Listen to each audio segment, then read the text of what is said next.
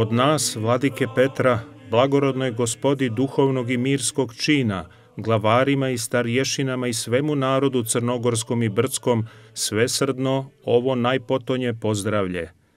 Svatko znade i vidi kako sam ja od davnoga vremena oronuo i panuo, te ne mogu već nikuć, nešto od starosti, a najviše od svakojake muke i truda, koje sam u velji moj vijek za narod crnogorski i brdski podnosio i za slobodu hrišćanske vjere i našeg otačastva pretrpio, čuvajući narod i sirotinju kao svoju dušu. No to i sam videći i poznavajući svoju slabost i bolest neizlečivu i da mi se smrt približava, napisao sam neka potrebita pisma i knjige i naredio ih sve, gdje sam imao što posilati da se pošlje po mojoj smrti, tako i vama i svemu narodu crnogorskom i brdskom napisah i ostavih ovu knjigu, koju svi da čujete i dobro razumijete prije nego me ukopate. Sveti Petar Cetinski rodio se septembra meseca 1748. leta gospodnjeg. Rodio se u mestu zvanom Njeguši. Njegov deda Damjan beše rođeni brat čuvenog mitropolita Crnogorskog Danila. Prozrevši u desetogodišnjem dečaku bogomudrog pastira stada Hristova i narodnog vođu, tadašnji mitropolit Skenderijski i Crnogorski Sava izabra ga između četiri sina svoga sinovca Marka za svoga naslednika. U 12. godini on bi obučen u anđelski lik monaškog čina, dobivši ime Petar, a u 17. godini bi rukopoložen za jerođakona. Kada se godine 1781. upoko istogodišnji mitropolit Sava, postavi se pitanje izbora njegovog naslednika.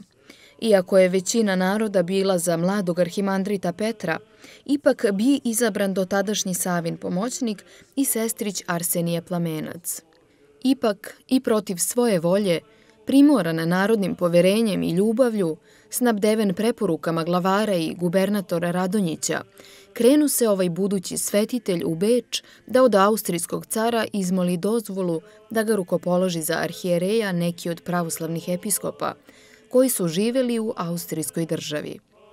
Umeđu vremenu umre mitropolit Arsenije, tako da oči celoga naroda biše okrenute arhimandritu Petru. Preporučen od glavara i guvernadura i celog naroda kao bogoljubiv i blagonaravan, on dobi dozvolu od austrijskog dvora da ga rukopoloži karlovački mitropolit Mojsije Putnik. No na putu od Beča za Sremske Karlovce dogodi se svetome još jedno iskušenje ili Božija poseta, kako to sam on nazivaše. Dogodi mu se naime da ispade iz kola i slomi desnu ruku. Kao da je lukavi time hteo da spreči da njegova desnica bude desnica koja nosi mir, slogu i blagoslov. Ali to bi ipak uzalud. Posle šestomesečnog bolovanja, Bog svetome povrati zdravlje i on bi svečano rukopoložen trojicom episkopa u sabornom hramu u Sremskim Karlovcima za arhijereja Crnogorskog, Skenderijskog i Primorskog 13. oktobra 1784. godine dobivši gramatu o rukopoloženju od mitropolita Mojsija Putnika, u kojoj se kaže da je posvećen po želji crnogorskog naroda i njegovih predstavnika. Novi arhijerej Hristov krenu ponovo zbog najirodnijeh potreba preko Beča u Rusiju. Tri dana nakon prispeća u Petrograd, moćni knez Potemkin po osionosti svojoj ili zavisti i na klevetu zlih ljudi naredi da Blaženi bude proteran nasilno iz Petrograda. Čuvši carica Ruska za ovo, pozivaše ga da se vrati, ali on ne htede više nikada otići u Rusiju. Koliko pak beše nezlobiv i nezlopamtljiv, pokazuje ljubav koju je gajio kod svoje pastve prema jednovernoj braći, nazivajući neprestano ruskog cara za svoga i svoga naroda zaštitnika – Dok je vladika još bio na putu i podnosio poniženja, kucajući na vrata gluvih da bi pomogao svome narodu, dotle je skadarski vezir Mahmud Paša Bušatlija pustošio zemlju njegovu, a pastvu mu na krst golgotskog stradanja prikivao. Došavši i videvši nevolju naroda svoga, sveti gorke suze prolivaše i uzdisaše kao prorok Jeremija na razvalinama Jerusalima. Stotine očajnika sađoše iz pećina da ga dočekaju na zgarištu razorenog Cetinskog manastira. Najteže rana na duši pastve njegove koja čekaše iscelitelja beše krvna osveta. Razlozi za međusobno ubijanje i krvoprolića bili su često bezazleni. Novodošavši svetitelj, znajući da je to koreni mnogih drugih zala, poče svoj pastirski rad sa prizivom na uzajamno praštanje, slogu i poslušnost. Pošto obnovi spaljeni Cetinski manastir, krenuo je od nahije do nahije, od plemena do plemena, ulazio u svaku kuću i molio, preklinjao, savetovao, pretio prokledstvom, da bi izmirio stare mržnje i zbratimio, silom Hristove ljubavi razbratimljeni narod i iscijelio demonskom neslogom zatrovane duše. Molim svakoga crnogorca i brđanina, maloga i velikoga, kojemu sam što sagriješio ili kakvu žalost učinio, da mi svako oprosti od svega srca i duše, i tako ja opraštam svakojega maloga i velikoga, koji mi je goć što sagriješio, prosto da je od mene svakomu zadovijek i na strašni Božji sud o vtoromu Hristu Boga prišestviju. Najprvi svemu narodu činim amanet i samosilnijem Bogom svega svijeta tvorcem i svom silom nebesnom. Zaklinjem svekoliko da me smirom u tišini i ljubavi opšte narodnoj krotko ukopate i ožalite, da ne bi ni krvnik krvniku tader progovorio ni gorke riječi.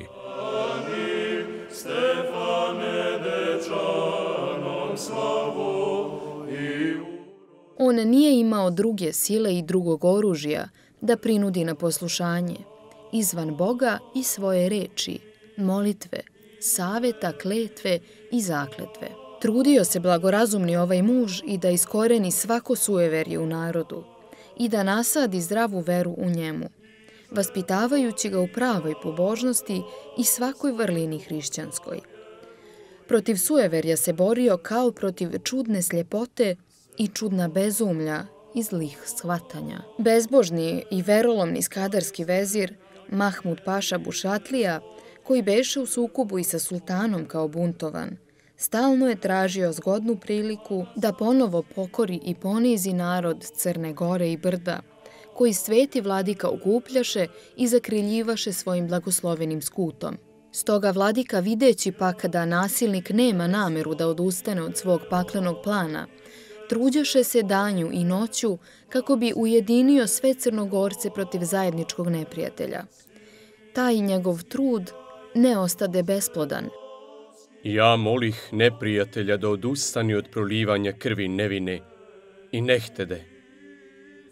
Velika je njegova vojska, ali je jadna i čemerna, jer nije pobeda u mnoštvu nego u gospodu.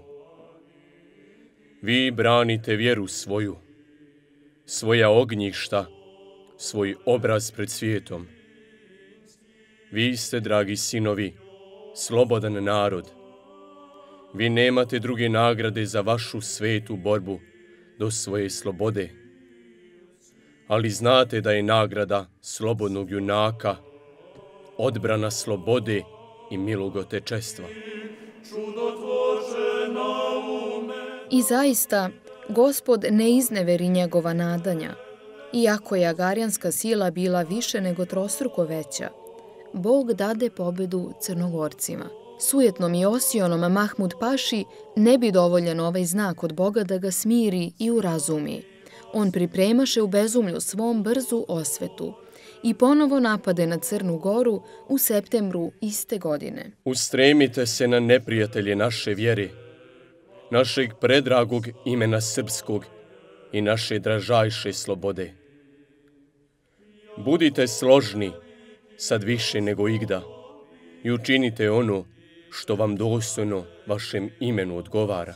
Pa prizvavši Boga za pomoćnika i blagoslovivši vojsku, stupi u ljuti boj na mestu zvanom Krusi u Lješanskoj nahiji, koji potraja od 8 sati ujutru do mrkle noći. 22. septembra 1796. godine.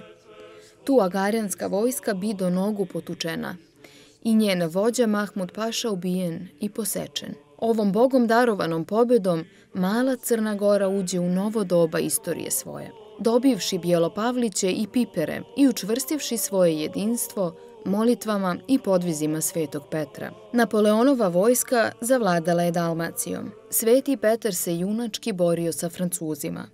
Nekad zajedno sa Rusima od Boke do Dubrovnika, a nekad opet sam sa svojim crnogorcima i pobeđivaše silnog Napoleona.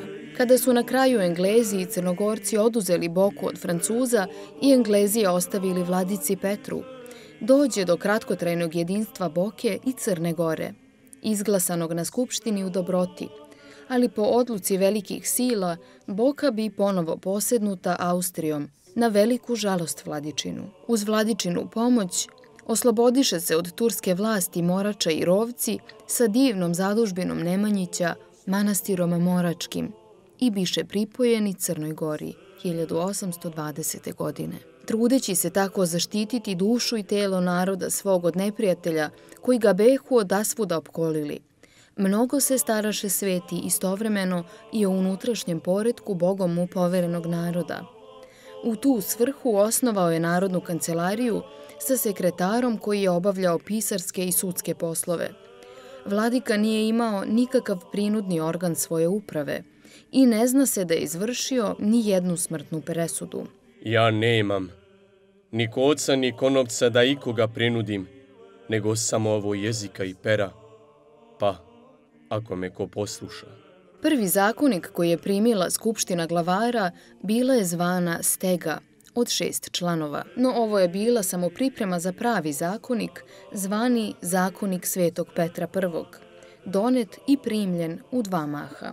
Zakonik, bolje rečeno Sveti Petar preko ovoga jer je zakon njegovo delo, obavezuje sveštenike za vreme praznika u crkvama, a isto tako i knezove i plemenske starešine, da svakoga domaćina od kuće pouče i svakome da govore da mirno u ljubavi sa svakim žive – da se Boga boje i da zlo govoriti i činiti prestanu i da se osjećaju i zapamte kazne određene za svako izločin.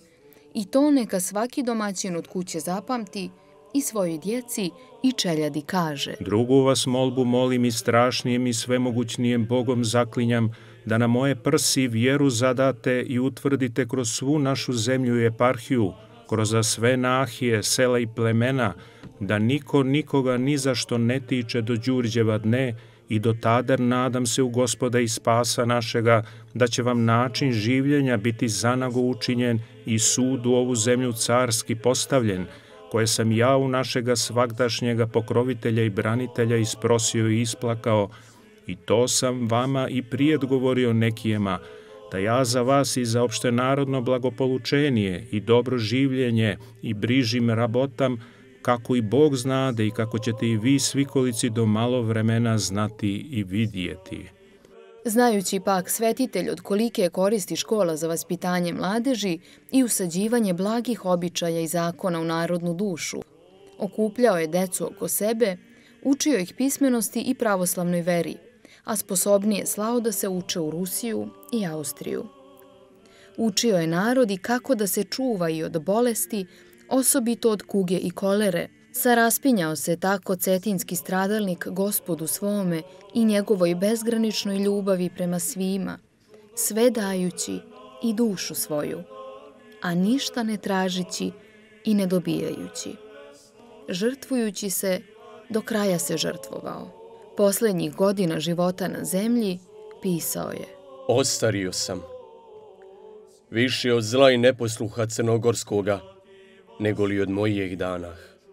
Sveti Petar I predstavio se u Cetinskom manastiru na dan svetog evanđelista Luke, 18. oktobra 1830. godine, pun truda, briga i godina, u 46. godini svoga arhipastirskog služenja. Izvan toga najviše vas svakojega molim i sve istinskijem Bogom svedržiteljem zaklinjem i vazdašnji amanet činim i ostavljam da crkovno dobro i imuće, gde god je kakvo, ne tiče niko nikada za vaših svih i za svaku vašu sreću i poštenje, i da mi svako crkovno čeljade, kaluđere, kako služitelje moje i vaše pazite i držite, kako sam ih i ja isti vazda pazio i držao.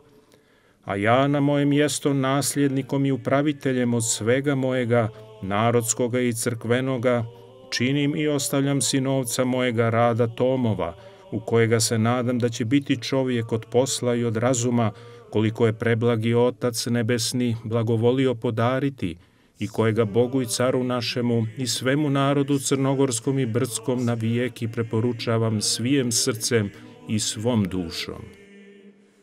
Na dan svetog evanđelista Luke, 1834. godine, njegov grob bio je otvoren, a mošti svetog vladike biše nađene cele i netljene.